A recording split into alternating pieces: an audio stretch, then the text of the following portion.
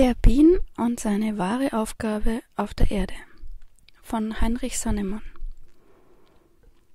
Cass Edition, das heißt, die Best-of-Schnipsel werden vorgelesen, manches kommentiert. Heinrich Sannemann wurde 1917 geboren. Er war im Krieg Fliegerpilot und da, ab 1945 ist er Kaufmann geworden.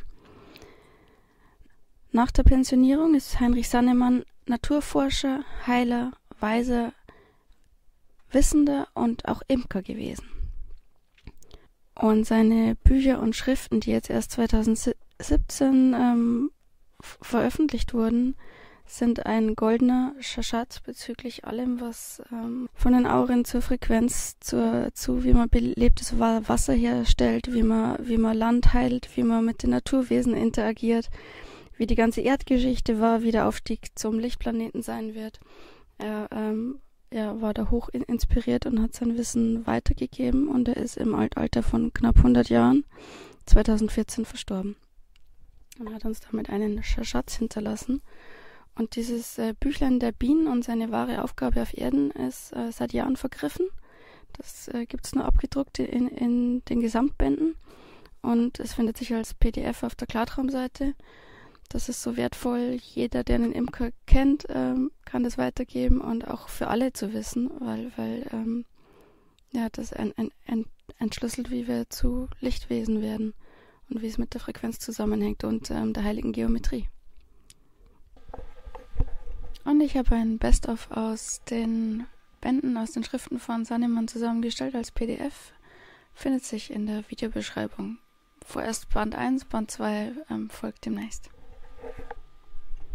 Die Aufnahme wurde leider mit ohne solchen Sch Schutzkappen um ähm, dieses wunderbare Aufnahmegerät gemacht. Darum ploppt es immer so.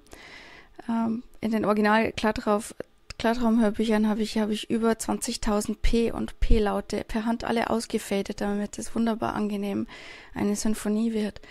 Ja, jetzt mit Batteriestrom ähm, und immer mal nur ein paar Tage ähm, online wo ich was machen kann. Ähm, ja, die nächsten Aufnahmen werden dann wieder weicher und angenehmer zu ertragen. Genau, viel Spaß. Der Bien und die Schöpfungsstufen Gottes. Auf dem Schulungsplaneten Erde gibt es vier Offenbarungsformen Gottes. Mineral, Pflanze, Tier und Mensch. Jeder dieser vier Erscheinungsformen hat vier Körper.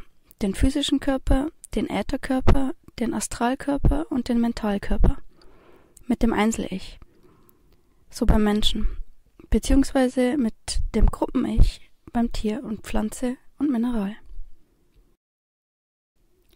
Da ist eine Tabelle und die Spalten zeigen an, mit welchen Körpern die betreffenden Offenbarungsformen in der physischen Welt leben und welche Körper in der übrigen Welt sind. Anders als Tier, Pflanze und Mineral lebt der Mensch demnach mit allen vier Körpern und seinem Ich in der physischen Welt. Allein die Tatsache ermöglicht es ihm, ein Leben zu führen, in dem er sich seines Ichs bewusst ist. Das Tier dagegen lebt mit drei Körpern, dem physischen, dem Äther- und Astralkörper, in der physischen Welt, die Pflanze mit zwei Körpern, dem physischen und dem Ätherkörper, und das Mineral mit nur einem Körper, dem physischen. Tier, Pflanze und Mineral sind sich daher ihres Ichs nicht bewusst. Denn bei ihnen ist der, ist der Mentalkörper mit dem Gruppen-Ich in höheren Regionen. Beim Tier in der Astralwelt, bei der Pflanze in der niederen Mentalwelt und beim Mineral in der höheren Mentalwelt. Bei ihnen sind also in dieser Reihenfolge immer weniger Körper in der physischen Welt. So ist beim Mineral zum Beispiel nur, nur der physische Körper in der physischen Welt, also die Form, und, all, und das Bewusstsein des Minerals ist in den astralen und Mentalwelten. Bei den Tieren gibt es jedoch eine Ausnahme von dieser Regel, der Bien. Der Bien hat, wenn die Grundvoraussetzung stimmt, als einziges Tier ein Ich. Denn bei ihm sind, wie beim Menschen, alle vier Körper in der physischen Welt. Daraus folgt, wir Imker können nicht nur, wir müssen mit dem Bien reden. Und mit Bienen bezeichnet Sannemann die Symbiose von Bienenvölkern und Imker. Zur Erläuterung. In früheren Zeiten informierte der Bienenvater den Bienen über alle wichtigen Ereignisse auf dem Bauernhof. Die Bienenkönigin ist das Herz des Bienenvolks, sein wichtigstes Organ. Wie der Mensch nicht ohne Herz, so kann der Bienen nicht ohne Königin leben. Mit ihr, dem Herzen des Bienenvolks, hat es aber was Besonderes auf sich. Denn dass der Bienen, wie oben behauptet, ein Ich hat, gilt nur, wenn die Königin aus einer Schwarmzelle stammt, wenn sie also von Anfang an ein Sonnenwesen ist. Dann geht er darauf ein, dass die Königinnen heutzutage auf eine unnatürliche Art und Weise gezüchtet werden. In Großserie mit Weißelzellen und die werden dann dem Pflegevolk wieder we weggenommen und in Brutkästen gegeben. Und damit ähm, haben diese Zuchtköniginnen kein Ich. Und die Völker mit dieser künstlich besamten Königinnen haben dann ebens, ebenfalls kein Ich, was sich von selbst versteht. Solche Völker degenerieren allmählich. Die Begattung der Bienenkönigin. Eine Königin, die einer Schwarmzelle entstammt, fliegt bei ihrem Hochzeitsflug als Sonnentier der Sonne entgegen. Die Drohnen als Erdentiere haben es dabei schwer, Kön der Königin zu folgen. Nur die stärksten Drohnen schaffen es. Die Königin fliegt nämlich bis in die Regenbogenhöhe, das heißt in die Höhe, die der Regenbogen bei entsprechenden Witterungsverhältnissen erreichen würde. In unseren Breitengraden hat der Regenbogen zur Mittagszeit, in der der Hochzeitsflug der Bienenkönigin stattfindet, eine Höhe von ca. 2,1 Kilometer. Am Äquator ist er höher, ca. 3,3 Kilometer, und zu den Polen hin wird er niedriger. In jener Höhe also, und zwar im Violettbereich des Regenbogens, wird die Königin von mehreren Drohnen begattet. Diese Vereinigung ist mit einer Einweihung zu vergleichen, wie wir Menschen sie erfahren können. Wenn die begattete Königin daraufhin in ihr Bienenvolk zurückkehrt, zieht mit ihr der Geist, das Ich, in das Bienenvolk mit ein.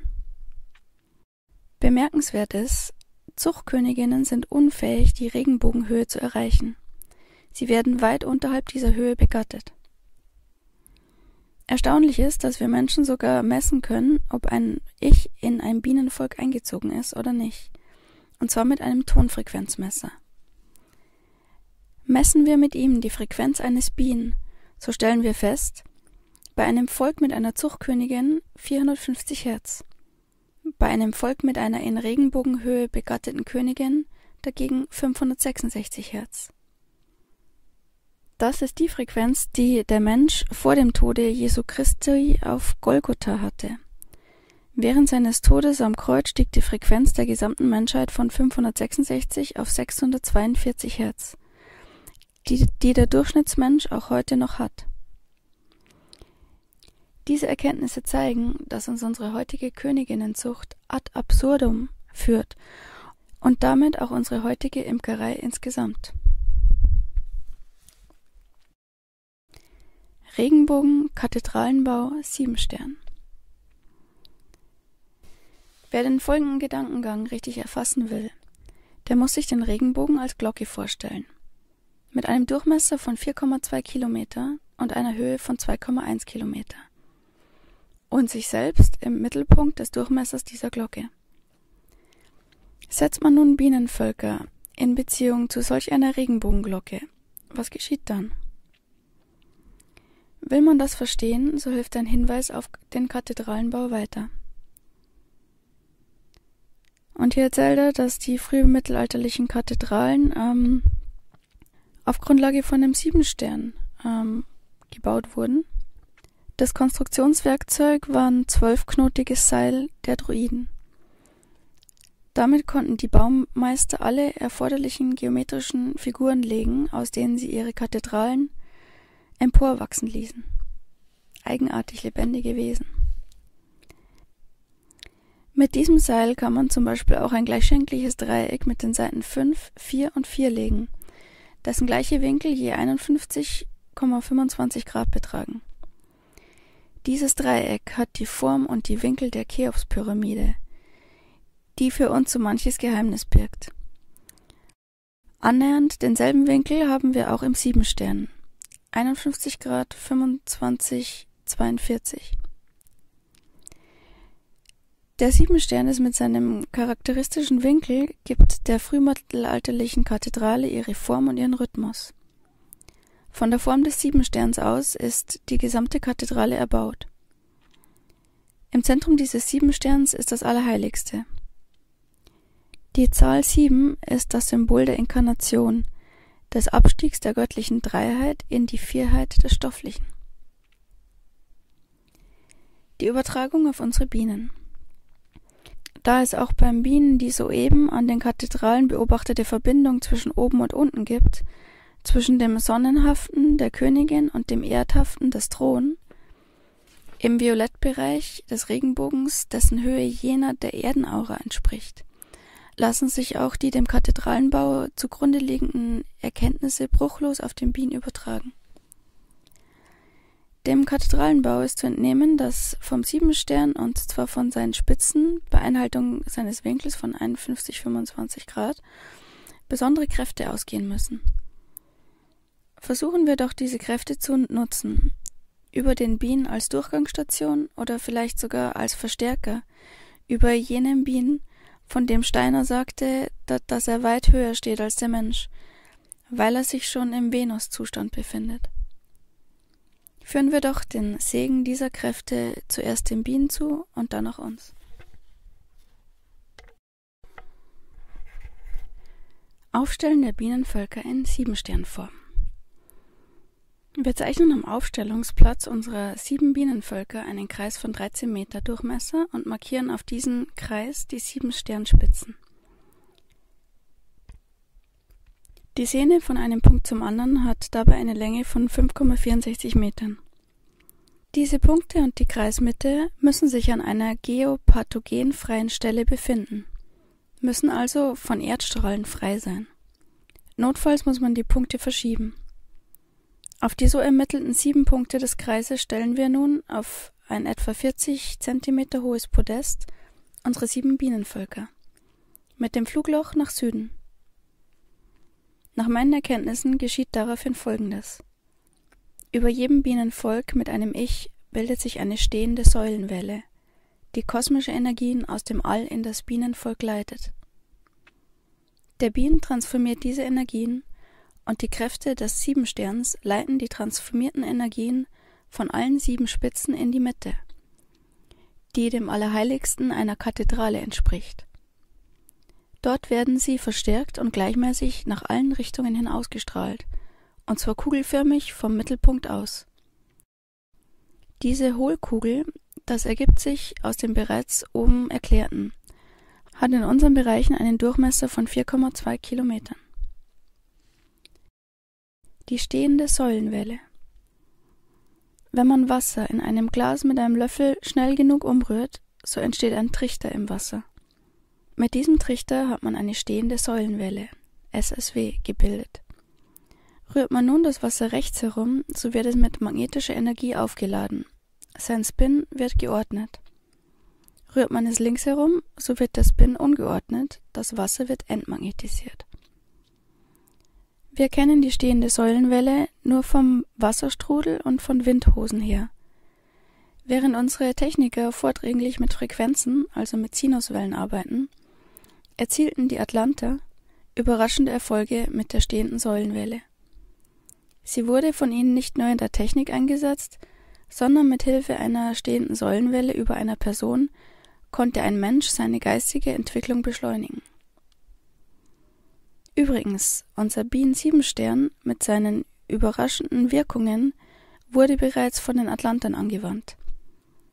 Von dort kam er nach Ägypten, wo die Biene bekanntlich ein heiliges Tier war geriet aber bald in Vergessenheit. Die Wirkung des Siebensterns auf ein Bienenvolk. Kontrolliert man die Frequenz des Bienenvolks, nachdem man es auf eine der Spitzen des Siebensterns gestellt hat, so stellt man etwas Erstaunliches fest. Er gibt hier die Anmerkung, dass man Siebenstern auch mit der halben, mit dem halben Durchmesser, also 6,5 Meter oder Vielfachen davon bauen kann, wenn der Platz nicht ausreicht oder dass man die Größe dem Ort anpassen kann. Die Frequenz hat sich von 566 Hertz auf 999,9999 Periode ist gleich 999,9 Kilohertz erhöht. Wie ist das möglich? Und warum auf diese eigenartige Frequenz? Doch nicht genug damit. Stellen wir bis zu vier Völker auf den sieben Sternen, so bleibt die Frequenz gleich, nämlich 999,9 Kilohertz. Stellen wir aber ein fünftes Volk hinzu, so beträgt die Frequenz 1321 Kilohertz. Unser Bienen-Siebenstern überspringt damit die Grenze zum Göttlichen, nämlich 1000 Kilohertz. Diese Frequenz kann ich nicht mehr mit dem Tonfrequenzmesser feststellen, sondern nur mental. Um das verstehen zu können, müssen wir viel weiter zurückgehen in der Geschichte der Bienen und der Atlanter, die die Bienen auf unserem Planeten heimisch gemacht haben. Zur Geschichte der Atlanter. Nach meinen Erkenntnissen kommen die Atlanter aus einem anderen Universum, und zwar von einem Planeten namens Pho. Sie leben dort als feinstoffliche Wesen in einer feinstofflichen Welt. Ihre Frequenz beträgt 1555,5 Periode Kilohertz. Mit ihren Raumschiffen kamen sie auch in unser Universum, immer als feinstoffliche Wesen, und besiedelten den Planeten Keck. Dort stiegen sie eine Stufe hinab in die Materie und wurden Ätherwesen mit der Frequenz 999,9 Kilohertz. Das ist zugleich die höchste Stufe der uns heute bekannten UFO-Menschen – wenn sie sich für uns unsichtbar in der Äthermaterie bewegen. Da ihre Sonne radioaktiv zu strahlen beginnt, mussten die Atlanter den Planeten Keck nach einer langen Siedlungszeit wieder verlassen. So kamen sie zum Planeten Mojo und zum Planeten Erde, die damals beide noch eine jungfräuliche, strahlende Sonne hatten. Die Erde war zu jener Zeit ein begehrtes Siedlungsziel. So kamen zum Beispiel auch die, die Titanen auf die Erde. Auf der Erde stiegen die Atlanter dann weiter in die Materie hinab. Es kam die Zeit, in der sie ihre Frequenz so weit herabsetzen konnten, dass sie sowohl materielle als auch ätherische Körper annehmen konnten. Wie die UFO-Menschen, die ja auch Ätherwesen sind. Schließlich besiedelten sie den Kontinent Atlantis und degenerierten dort gänzlich zu physischen Wesen. Zur Geschichte der staatenbildenden Biene. Die Atlanter hatten als physische Menschen mit ihren Raumschiffen noch Kontakt zum Planeten Mojo und zu ihrem Heimatplaneten Pho. Von dort brachten sie die staatenbildende Biene in feinstofflicher Form in unser Universum. Hier erhielt sie die Frequenz 999,9 Kilohertz. Dort wurde sie in eine materielle Biene umgewandelt, und zwar über die schon vorhandene materielle Wespe. Das ist sehr interessant. Man sollte über die Wespen nicht immer schimpfen, denn die war ja Vorlage, um dieses wundervolle Bienenschwarmvolk hier einzuführen. Rudolf Steiner dazu. Da zu der Zeit die Tierformen noch nicht so fest in sich abgeschlossen waren, konnte die Biene auf diese Weise aus der Wespe herübergezüchtet werden. Heute wäre eine solche Herauszüchtung nicht mehr möglich. Aus dem Buch über das Wesen der Biene von Rudolf Steiner. Die Iche der Atlanter und die der Bienen entstammen übrigens derselben Entwicklungslinie. Sie haben hierbei die gleiche Entwicklung durchgemacht. Die Bieneniche sind nämlich in das Bienenvolk eingekörperte Atlanter vom Planeten Pho. Sie haben schon den Venuszustand erreicht, wie Steiner ihn nannte. Sie sind also in ihrer geistigen Entwicklung viel weiter als wir Erdenmenschen. Wie die Menschen auf dem Planeten Erde zu verschiedenen Stufen angehören, vom Durchschnittsmenschen bis zum Gottmenschen, so auch die Wesen auf dem Planeten Pho. Unsere Bieneniche sind besonders hochstehende Pho-Wesen. Wenn solch ein Wesen sich als Bienenich in ein Bienenvolk einkörpert, so ist das ein großes persönliches Opfer, Jenes Wesen tut das, um dem Erdenplanet zu helfen, dass der Planet Erde zu einem Lichtplaneten wird. Das aber kann es am besten in der Siebensternaufstellung der Bienenvölker. In unserem Sonnensystem ist der Planet Erde neben der Venus der letzte Planet, der noch kein Lichtplanet ist. Es war damals schon das Ziel der Atlanter, mit Hilfe der Biene die Entwicklung der Erde zu einem Lichtplaneten zu unterstützen. Die Aufstellung der Bienenvölker zu einem Siebenstern ging schließlich in Ägypten verloren. Wenn wir uns jetzt wieder dieser Aufstellungsart erinnern, so hat dies die Unterstützung der geistigen Welt zur Folge. Als ich meinen Plan, meine Bienenvölker zu einem Siebenstern aufzustellen, meinen Bienen mitteilte, fühlte ich förmlich eine Glückswelle von den Bienen auf mich überströmen. Wir sollten daher möglichst viele solcher Bienen-Siebensterne errichten. Der Bienen wird's uns danken.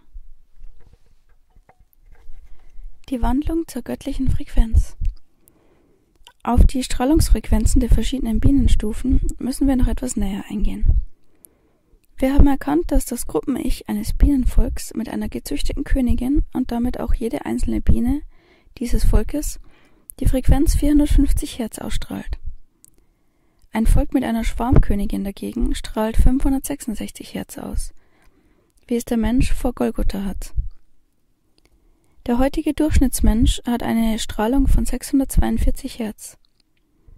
Wenn er nach dem Tode in die geistige Welt eingeht, um irgendwann wieder inkarniert zu werden, kann seine Frequenz höchstens 777 Kilohertz betragen. Das ist die höchste Stufe der Mentalwelt. Ein einzelnes Bienenvolk auf einer Spitze des Siebensterns hat aber schon eine Frequenz von 999,9 Kilohertz. Das ist die höchste Frequenz der Ätherwelt, knapp unter der Gotteswelt. Das bedeutet, jede einzelne Biene dieses Volkes strahlt eine Frequenz aus, die höher ist, als ein Erdenmensch sie je erreichen kann. Naja, je stimmt so nicht, denn die lässt sich ultimativ definitiv erreichen.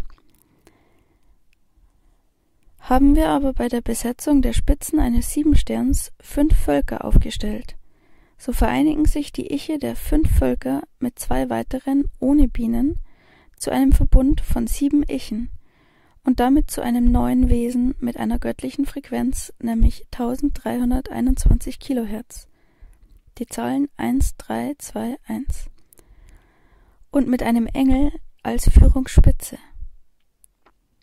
Die Bieneniche geben dabei für eine begrenzte Zeit einen Teil ihrer Individualität auf – um eine bestimmte von Gott gegebene Aufgabe besser erfüllen zu können.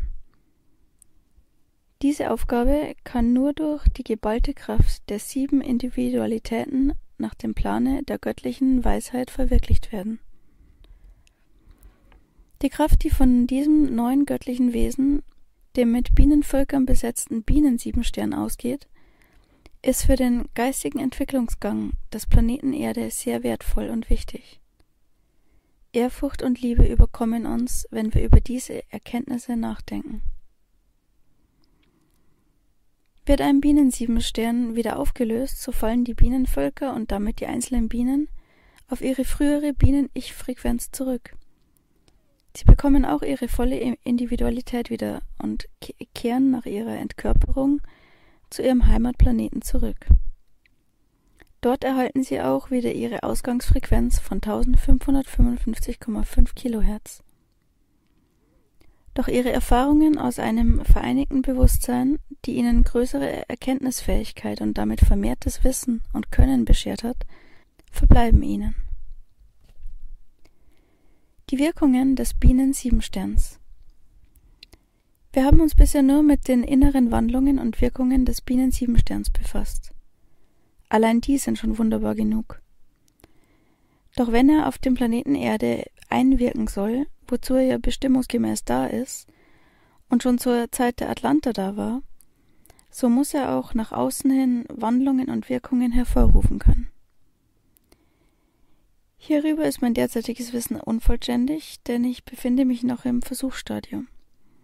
Aber obwohl ich meine Bienenvölker erst Mitte November 1990 zu einem Siebenstern aufgestellt habe, sind die Ergebnisse schon jetzt überraschend. Die Reichweite des Bienen-Siebensterns. Jedes Bienenvolk mit einer natürlich aufgewachsenen Königin hat, ich wiederhole, eine stehende Säulenwelle, die kosmische Energien aus dem All aufnimmt. So ist es vermehrt auch bei den Bienenvölkern des Siebensterns. Sie transformieren diese Energie auf die Frequenz 999,9 Kilohertz. Diese Frequenz senden sie zum Mittelpunkt des Siebensterns und damit erhöht sich diese auf die göttliche Frequenz von 1321 Kilohertz, die von dort aus wie die Strahlen der Sonne nach allen Seiten hin ausgestrahlt wird. In unserem Breiten mit einem Durchmesser von 4,2 Kilometer. Die Strahlung wirkt also nicht nur nach den Seiten hin, sondern auch nach oben in die Atmosphäre und nach unten in den Erdboden. Gerade das ist sehr wichtig. Behinderungen der Reichweite. Wenn man jetzt in diesem Bereich rund um den Bienensiebenstern herum seine Wirkung untersucht, so stellen wir fest, ein Teil der Wirkungen ist im gesamten Bereich zu spüren, ein Teil aber nur an bestimmten Stellen. Er meint innerhalb von, den, von der 4,2 Kilometer Kugel um den Stern herum. Dieser Tatbestand hat mich anfangs sehr irritiert, bis ich begriff, dass es im Wirkungsbereich eines Bienensiebensterns Teilbereiche mit Widerständen geben kann, die durch seine Strahlung nicht ohne weiteres beseitigt werden können. Weitere Untersuchungen ergaben, dass jene Widerstände offensichtlich von Menschen ausgingen, deren negatives, egoistisches und materialistisches Denken die Strahlung des Bienensiebensterns unwirksam machten anders jedoch in den Teilbereichen, in denen Lichtmenschen wohnen. Das heißt Menschen, die auf ihrem geistigen Entwicklungsweg den Frequenzbereich 900 Hertz statt 642 Hertz wie beim Durchschnittsmenschen schon erreicht haben. Dort kann die göttliche Schwingung des Bienen-Siebensterns ungehindert wirken. Und das kann ich ultimativ bestätigen, schon allein bei Bienen allein ist, äh, ist, ist eine Schwingungserhöhung in so vielen Bereichen spürbar. Und damit nähern Bienen, speziell Bienen sieben Sterne, einen Lichtmenschen und äh, be beflügeln sich gegenseitig. Regenerierung von Kraftreserven. Wenn sich ein Mensch, gleichgültig ob Durchschnittsmensch oder Lichtmensch, im Wirkungsbereich des Bienen-Siebensterns aufhält, so spürt er nichts von der göttlichen Strahlung. Sie geht durch ihn hindurch und hat keinerlei Wirkung auf ihn. Stimmt er sich aber auf jene Strahlung ein, so kann er daraus göttliche Energie tanken, die sich auch auf seine körperlichen Kräfte auswirkt. Dadurch kann er bei körperlicher wie bei geistiger Arbeit seine Kräfte regenerieren. Das ist, das wird, ich werde das ausprobieren und es wird ultimativ sein, in diesem Hauptschwingungsbereich in der, im, im Zentrum eines Siebensterns müsste äh, ja alles heilbar und ein Portalort seinesgleichen entstehen. Das ist eine großartige Anleitung, die wir hier haben. Neutralisierung von geopathogenen Zonen. Im gesamten Wirkbereich eines Bienensiebensterns werden durch seine Strahlung die schädlichen geopathogenen Strahlungen neutralisiert, nämlich die Strahlen von Wasseradern und Verwerfungen, also radioaktive Strahlung und Gitternetzkreuzungen und so weiter. Bei dieser Entstörung bleibt die Strahlung zwar bestehen, anders als bei gewissen Entstörgeräten, die die Strahlung durch Interferenz gänzlich beseitigen, aber ist die Strahlung unschädlich geworden, neutralisiert. Dieser Vorgang wirkt sich nicht auf Ameisen aus, die sich bekanntlich über Wasseradern ansiedeln. Ihnen ist es gleich, ob die Wasseradern eine für Menschen schädliche oder neutrale Strahlung haben. Sie reagieren allein auf die Information Wasserader, damit sie dort ihren Wasserbedarf decken können. Hat ein guter Routengänger vor der Installierung eines Bienensiebensterns an verschiedenen Punkten eine schädliche Strahlung festgestellt, so wird er danach entdecken, dass die Informationen nur noch, noch aus der Erde kommen, dass sie aber unschädlich sind. Daraus folgt, Lebt man bewusst im Wirkungsbereich eines Bienensiebensterns, so ist man gegenüber manchen Krankheiten geschützt, zum Beispiel Krebs, und kann darauf verzichten, Entstörgeräte aufzustellen. Meine Erkenntnisse über die Gitternetze sind folgende. Das Globalgitter ist eine kosmische Strahlung. Sie dringt auf der gesamten Erde 123 Meter in die Erd- bzw. Wasseroberfläche ein. Das Diagonal- oder Curry-Gitternetz ist eine kombinierte kosmisch-terrestrische Strahlung, die sowohl aus dem Kosmos als auch aus dem Erdmittelpunkt kommt. Der Bienen-Siebenstern wirkt auf beide Gitternetze. Weil beide von Natur aus neutral sind, die Störquellen aber immer im Bereich der Regenbogenkugel liegen. Hier ein Einschub, weil es gerade passiert. Diese 999-Frequenz ist exakt die DMT-Frequenz. Die, die man hört, wenn, wenn Ayahuasca oder DMT wirkt, beziehungsweise auch wenn es körpereigen ausgelöst wird. Und wenn Telepathiesignale reinkommen. Was besonders oft abends oder in den Morgenstunden der Fall ist. Und dann hört man dieses Pfeifen und während Ayahuasca hört man es über Stunden. Es ist ein Singen, wie ein, wie ein Flattern von wirklich einem Bienenschwarm und alles in dir wird, wird, steigt auf diese und strahlt diese Frequenz und, und große Bereiche um dich herum mit. Und ja, damit ist das, ist es, ähm, dass, der, dass die Erde Lichtplanet wird, ist es die Erhöhung der Frequenz, die wir Menschen und Bienen und in Symbiose mit der Natur, die bereits soweit ist, dem Erdkern und dem galaktischen Zentrum. Ja, das wird gekoppelt und ausgelöst. Soweit der Einschub. Darum muss ich jetzt eine Pause machen, weil das Pfeifen so laut ist, dass man sich dann und jedem, dem, dem das passiert, sollte dann sagen, ich ziehe mich kurz zurück oder und hock dich hin und geh auf die inneren Sinne und hör zu, da werden, da werden Informationen übermittelt. Hier geht's im Büchlein jetzt weiter mit ähm, ein paar Stellen, die ich überspringe. Das ist ähm, Neutralisierung von geopathogenen Zonen mit dem Siebenstern. Das ist, dass der Siebenstern die Strahlungen von, von Wasseradern, Verwerfungen, von radioaktiver Strahlung, von Gitternetzkreuzungen und so weiter ähm, neutralisieren kann. Und Sannemann hat auch umfangreiche Messungen angestellt zur Neutralisierung von chemischen Giften mit dem Siebenstern im Boden, im, im Wasser und auch zur Ordnung des Spin im Trinkwasser und in der Nahrung. Das äh, kann man sich dann im PDF, das in der Videobeschreibung zu finden ist, im genauen anschauen. Und er schreibt zu den Frequenzen des Planeten Erde, wie sie mehr und mehr aufsteigt geschichtlich. Und ähm, er hat auch dann ausgemessen, wie die Frequenzen der Erde im Wirkungsbereich des Siebensterns liegen. Und schließlich, die Erde wird ein Lichtplanet. Die obigen Messergebnisse machen es deutlich, warum die Atlanter die Biene auf die Erde geholt haben und warum sie möglichst viel Bienensiebensterne ansiedeln wollten. Diese sieben Sterne sollten den Weg zum Lichtplaneten verkürzen. Die dargelegten Messungen bergen eine ungeheure Brisanz in sich, die sich bis in die Feststellung erstreckt, dass wir Erdenmenschen Mitschöpfer sein können.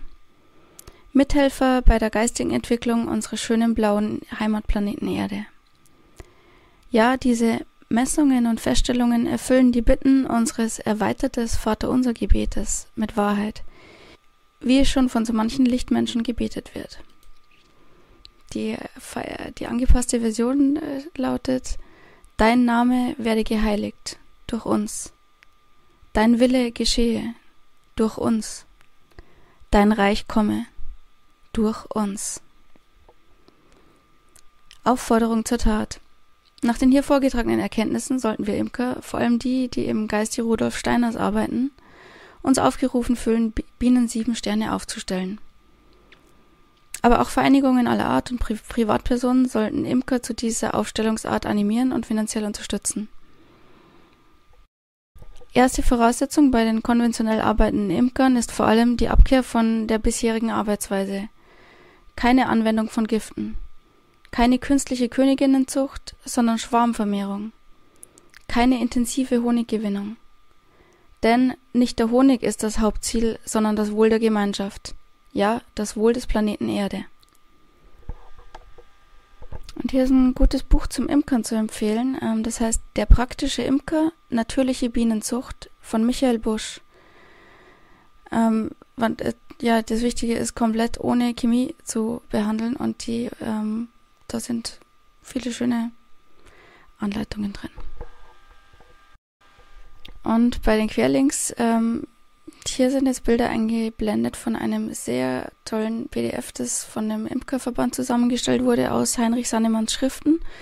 Das enthält ähm, das Wissen aus dem Bienenbüchlein und noch weitere De Details, die er zum Siebenstern ähm, zu auch wie man ähm, Zuchtköniginnen und Zuchtköniginnenvölker in Schwarmköniginnen umwandelt. Das geht, ähm, gibt es mehrere Methoden, dass die dann höher schwingen. Das wollen sie ja na auf natürliche Art und Weise. Und ähm, da ist die Anleitung auch, wie man den Siebenstern baut und auch die Fotos, wo in Deutschland sind schon. Und es gibt sogar sieben Siebensterne, die auf der Karte wie ein Siebenstern aufgestellt sind aus Bienen. In den, in den Im Imkerforen habe ich da sehr viel ähm, entdeckt und ja, hiermit wird das Wissen noch um einiges vermehrt. Genau, und diese PDF, ähm, die ist auch im Text verlinkt und ähm, heißt Bienen 8 Auflage A. Und was unbedingt ergänzt werden muss, ähm, das war zu der stehenden Säulenwelle. Ich habe die im Herbst 2017 live erlebt, mehrfach, und kann jeder, der ähm, mit Ayahuasca und DMT aktiv ähm, sich in, den, in die Nähe von Bienen setzt und den Himmel beobachtet. Es, ähm, es sind wirklich stehende Säulenwellen, die ineinander Wirbelvortexfelder bilden. Und als die Bienenschwärme alle äh, am, am Fliegen und, und aktiv waren, das waren so mächtige Wir Wirbel, die der Himmel ganz dort, dort deutlich ähm, über, über dem ganzen Bereich geformt hat. Und man konnte auch sehen, wie die Bienen, wie, wie die alles hexagonal ähm, mappen. Wie die hexagonal anfliegen, wie und wie der ganze Raum ein äh, Parallelrealitätsportal ist, das dann, das dann durch die Räume switcht und die Bienenkästen sich auch leicht anders an, anordnen. Du kannst telepathisch zu den Bienenköniginnen verbinden. Es ist eine, eine, ja, da kann man Bücher drüber schreiben, was ähm, die, die dann exakt dich in die, in die Schwarmintelligenz der Bienen ein, einladen und all das Wissen, wenn man sich einfach nur ähm, an dem Ort verschmelzt mit, mit Urmutter, mit, mit, ähm, mit dem Urmandala, wie, wie man, wie man äh, DMT auch beschreiben kann. Und ähm, dann sind die Erkenntnisse mit Fre Frequenz völlig klar. Und auch den Siebenstern habe ich inzwischen ähm, haben wir gebaut, also haben wir aufgestellt. Zu bauen gibt's da nicht viel, das machen die Bienen. Und ich äh, kann nur berichten, er funktioniert. Es ist fantastisch. Und in der Mitte dieses äh, Siebensterns ähm, habe ich, äh, kann man wunderbare ähm, Experimente machen. Ähm, als ich da an Silvester einen, äh, mich geschnitten hatte und einen Tropfen Blut auf die geweihte Kerze, ähm, um dann nachts ins DMT Salvia Portal zu gehen. Ähm, ich war, mein Bewusstsein war eins zu eins genau in der Mitte von diesem Ort. Und ähm, exakt so, wie ich unten Formen und ähm, Honigwaben ähm, angeordnet hatte, damit die Ke Kerze nicht ausgeht vom Wind. Genau da in die Mitte war mein Bewusstsein pla pla platziert und als äh, ein Freund und ich das dann ähm, den Ort umgeordnet haben, dann war exakt das auch wieder im, im tief aufgelösten Raum. Das ist die Mitte des Siebensterns lädt ein Bewusstsein ein, ein Engelsbewusstsein heißt, das dann da die Führung übernimmt. Und ja, wenn, wenn du HD bist, gibt's keine Engel mehr. Das machst du dann selber und du kannst landen an solchen Orten, die nicht nur sieben Sterne bilden, sondern die Cheops-Pyramide, die Tempel der Maya, die mit Sacred Geometry gebaut wurden, dass einfach ähm, Räume entstehen, in deren Zentrum, wenn du dich hinhockst und ähm, zwei, drei Tage in Dunkelheit verbringst, ähm, meditierst, dann wird mit absoluter Sicherheit ähm, 5 Meo-DMT-Körper eigen ausgestoßen. Und ähm, so wurde das früher aktiviert, was, was wir jetzt ja mal, mal eben über, über die wunderbare Ursuppe einfach als, als, als, als Heilung und als Lichtmensch-Werdungsprozess ähm, in uns aufnehmen können und damit ähm, leben wir bereits in der Erfüllung all dieser Geschichten. Und hier kommt das Musikausklang. Ähm, ich habe die Bienenvölker um mich, um mich herum ähm, aufgenommen und die überlagerten Aufnahmen mit Solfeggio-Musik online gestellt. Die kann man sich auf der Klartraumseite runterladen. Das sind ähm, zwölf fantastische. Ja, und damit summen wir uns ein in, in ja, das ist vielleicht noch schön zu wissen, was, ähm, was, was passiert, wenn wir in diese höhere Lebensform wechseln. Ähm, ich hatte mehrfach das Erlebnis, Bienenschwarm zu sein, dass alles in dir, jede ähm, Falter Biene ist und du kannst das ansteuern und dann bei, bei im Winter Schnee an den, an den Steinen im Wald zu, zu hocken und da schamanisch zu verschmelzen. Das ist sehr, sehr cool, weil du dann ähm, im tiefen Raum die Wärme ansteuern kannst und einen Meter Radius um, um dich ähm, einfach und da ist es eben nützlich oder das funktioniert nur, wenn du, wenn du Lichtmensch bist, wenn da nicht mehr ähm, verschlagende, klebrige Nahrung in dir hängt, die einfach ein Bienenschwarm könnte auch nicht so hoch schwingen. Das, damit der, damit alles in dir abheben kann, bereit ist abzuheben. Ähm, ja, löst man sich von allen Süchten und Gewohnheiten, die einfach die Frequenz niedriger machen. Und dann sind wir reines Licht und da muss ich nur an die Bienen denken und spürt die antigravimetrischen Effekte. Die übrigens hier ist dann in der Videobeschreibung auch noch ähm, Krebenikow, der Insektenforscher, verlinkt, der, ähm, wie Gavi Müller es ausgegraben hat, entdeckt hat, dass ähm, Insektenflügel, und es waren Bienenflügel, ähm, Gravitation aufheben können. Das war eine spezielle Sorte und er hat sich dann einen Ko Koffer gebaut, auf dem mit dem er rumgereist ist. Und ähm, der hat, hat das alles sehr genau beschrieben und genau die PDF ist da auch im Text verlinkt. Jawohl, und jetzt die Bienenkonzerte.